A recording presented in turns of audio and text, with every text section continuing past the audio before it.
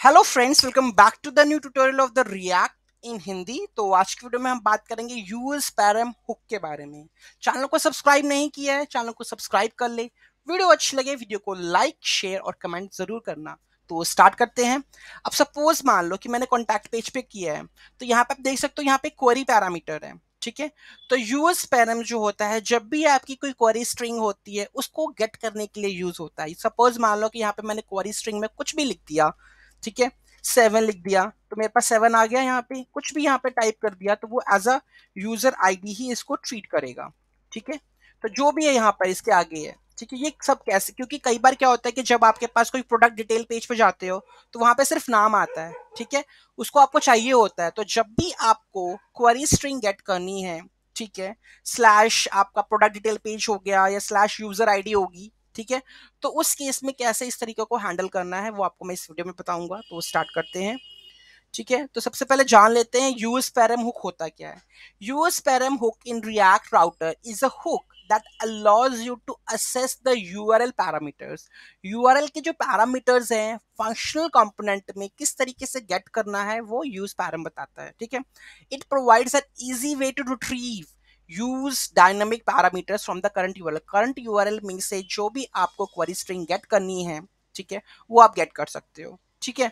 तो इसके लिए सिंपल सा मैंने कोड बनाया हुआ है ठीक है? तो मैं आपको दिखाता हूँ ऐप डॉट जी एस हमारे पास लिंक मैंने बना रखे थे अबाउट के लिए वन कर रखा था कॉन्टैक्ट के लिए टू तो यहाँ पे मैंने कर रखा था यूज़र आईडी यूज़र आईडी जो भी इसके आगे वाला पैरामीटर है वो एज अ क्या, क्या एक्ट होगा? यूज़र आईडी एक्ट होगा ठीक है? तो जैसे ही मैंने अबाउट वाले कॉम्पोनेंट पे गया ठीक है? तो मैंने यूज़ पैरम्स का इस्तेमाल किया, ठीक है? तो यूज़ पैरामीटर्स मैंने रिएक्ट राउटर डोम से यूज़ किया, ठीक है? उसमें से यूज़र आईडी निकाली, क्योंकि स्लैश कॉन्टैक्ट के बाद स्लैश के बाद जो भी वैल्यू होगी, वो एज अ यूज़र आईडी ही ट्रीट होगी। क्यों? क्योंकि मैंने यहाँ पे यूज़र आईडी ही पास किया है। अगर मैं यहाँ पे कुछ और पास कर लो और वहाँ पे यूज़र आईडी लिख के गेट करूँ तो नहीं आएगी कभी वैल्यू तो जो यहाँ पे आपने उसको क्वेरी में पैरामीटर दिया है कि ये जो स्लैश करने के बाद जो भी वैल्यू है, वो यूज़र आईडी है तो वो यूज़र आईडी से ही निकलेगी। ठीक है? तो ये मैं बाउट में गया।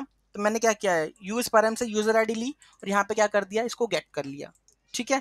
तो हर पेज पे जो भी यूआरएल आएगा, उसके लास्ट वाली स्ट्रिंग में जो भी होगा, वो एज अ यूज़र आईडी ही गेट होगी।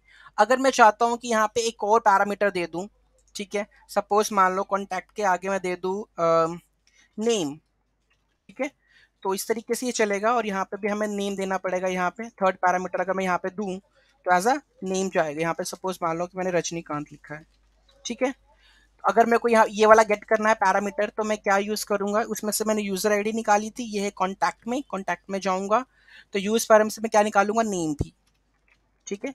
नेम आ जाएगा इसमें और मैंने यहाँ पे यूज़र आईडी और ये ब्रॉक में मैंने नेम भी लिख दिया, ठीक है?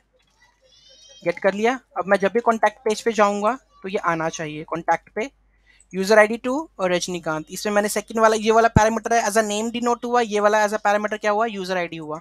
तो इस तरीके से मल्टीपल चेन भी अगर यूआरएल में बनती है तो आप उसको गेट कर सकते हो, ठीक है? तो ये होता है use param hook in React ठीक है? इसमें कोई डाउट है, इसमें कोई क्वेरी है just let me know in the comment section thank you so much for watching this video have a great day